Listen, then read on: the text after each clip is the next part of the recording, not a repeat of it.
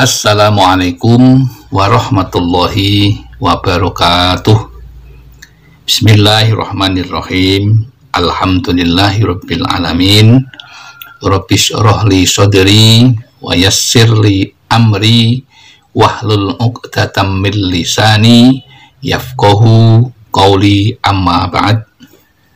Jamaah Al-Fatih Channel dan sahabat YouTube yang berbahagia Senang sekali kali ini kita bertemu kembali dalam keadaan sehat walafiat. Oleh karena itu, kata yang paling bijak untuk kita sampaikan kepada Allah yaitu kata puja dan puji untuknya. Maka mari kita sampaikan rasa syukur kita dengan mengucapkan kalimat tahmid Alhamdulillahirabbil alamin.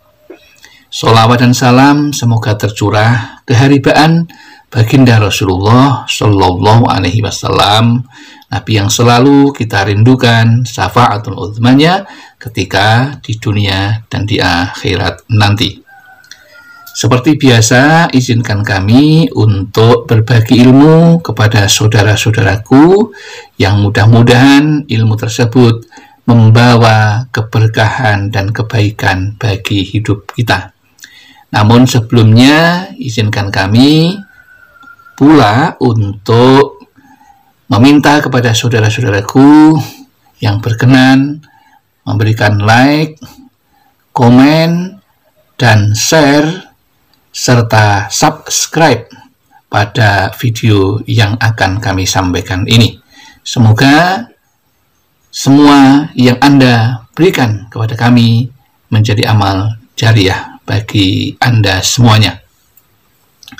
Sedangkan judulnya yang ingin kami sampaikan adalah dimudahkan urusannya, dibukakan pintu rezekinya, dihapus dosanya jika mau baca zikir ini. Sesuai dengan fitrah manusia adalah tempatnya salah dan lupa.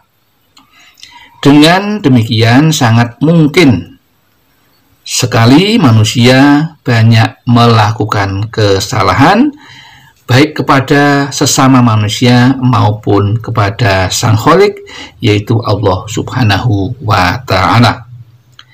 Sebaik-baiknya manusia yang bersalah itu adalah manusia yang mengakui kesalahannya, menyesali perbuatannya, dan berjanji tidak akan mengulangi kesalahan-kesalahan yang dilakukannya. Allah sangat mencintai orang-orang yang bertaubat dan menyucikan dirinya. Cara terbaik untuk bertaubat kepada Allah adalah dengan memperbanyak istighfar. Bahkan Allah menjanjikan tiga kebaikan kepada orang yang selalu membaca zikir istighfar ini. Apa itu janji Allah? Yang pertama akan dimudahkan segala urusannya. Yang kedua dibukakan pintu rezekinya. Dan yang ketiga dihapus semua dosa-dosanya. Lantas seperti apa istighfar yang dimaksud itu yaitu Bismillahirrahmanirrahim Astaghfirullahaladzim Alladzi la ilaha illa huwal hayyul qayyum wa atubu ilaih. Kami ulang lagi. Astaghfirullahaladzim Alladzi la ilaha illa huwal hayyul qayyum wa atubu ilaih. Sekali lagi, astaghfirullahaladzim alladzi la ilaha illa wal hayyul qayyum wa atubu ilaih. Itulah uh, zikir istighfar yang luar biasa yang jika kita lakukan Allah akan memberikan tiga kebaikan tersebut yang artinya Aku memohon ampunan kepada Allah yang Maha Agung, yang tiada Tuhan selain Dia, yang hidup kekal terus-menerus mengurusi makhluknya, dan aku bertaubat kepadanya. Lalu bagaimanakah cara mengamalkannya?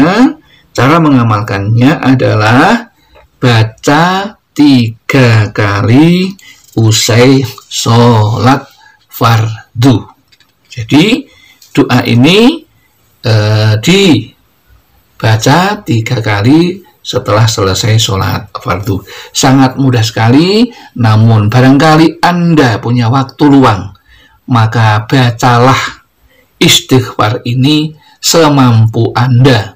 Karena orang yang selalu berzikir istighfar, salah satu keutamaan yang akan diperoleh adalah hati orang yang selalu beristighfar akan dibukakan. Hatinya menjadi hati yang hidup, yaitu hati yang bisa menerima masukan-masukan kebaikan. Berbeda dengan orang yang tidak pernah berzikir istighfar, maka hatinya akan menjadi mati hati yang mati atau keras hati yaitu orang yang sulit menerima petunjuk-petunjuk kebaikan dari Allah Subhanahu wa taala. Alhamdulillah kita bisa mendapatkan ilmu ini karena ini sangat bermanfaat bagi kehidupan kita baik di dunia maupun di akhirat kelak. Semoga apa yang kami sampaikan ini bermanfaat bagi kita dan barangkali ada kesalahan, kekhilafan yang kami sengaja atau tidak yang kami sampaikan pada kesempatan ini kami mohon maaf yang setulus-tulusnya dan semoga Allah mengampuninya. Akhirul kalam billahi taufik wal hidayah wal inayah wal barokah. Wassalamualaikum warahmatullahi wabarakatuh.